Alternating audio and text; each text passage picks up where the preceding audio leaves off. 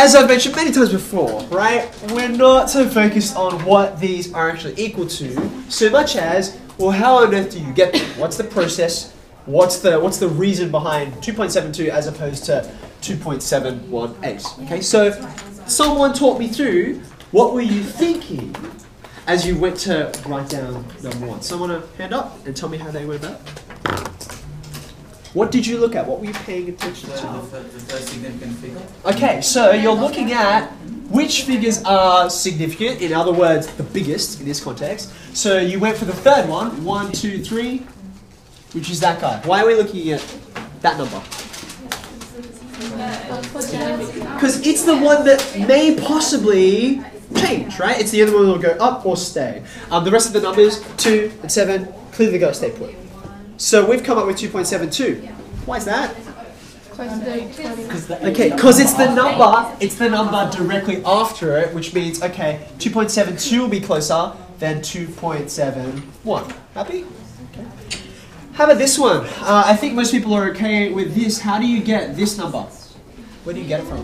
Yeah, Emily, that's the that. Yep. It's like they're not super significant. Yep. Sure. Yeah, that's right. Yep. And then because it's going to be between one and ten, you like keep counting. Keep counting. Yeah. Yeah, very good.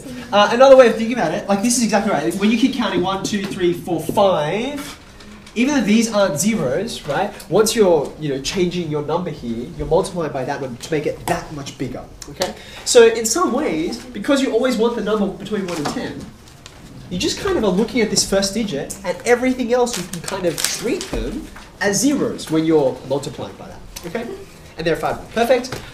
Conversion, um, kilometers to centimeters. What are we multiplying by in this case? Or maybe I should ask a question before that. Why are we multiplying and not dividing? Why are we multiplying and not dividing? Okay, so we're going to the smaller units, and these units are tiny, so to be equivalent, you've got to have lots of them. That makes sense? So that's why this number is so large, okay? Um, what was the number we were multiplying by? Uh, a thousand and then a hundred. Okay, so you multiply by a thousand to turn that into meters. You've got to go again to turn it to centimeters. So there's two steps you've got to go. Happy times? Um, this one, multiplication or division?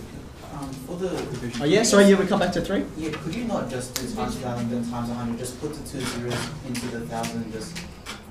You mean as in like, how do I, you know, can I just put those together? Yeah. Is that what you mean? Uh, yeah, short answer is yes, you can. Because times a thousand times a hundred is times a hundred thousand, so that's fine.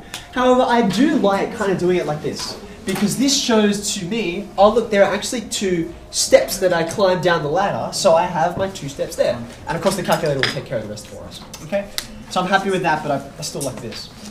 Uh, when we're here, we are getting to really big units. Hectares are big, right? So what did we divide by in this case? Down. No.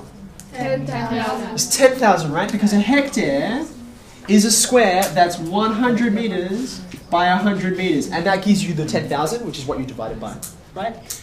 Uh, and then lastly, I think we're, I mean, liters and mils are very, very common units, so I'm happy with that.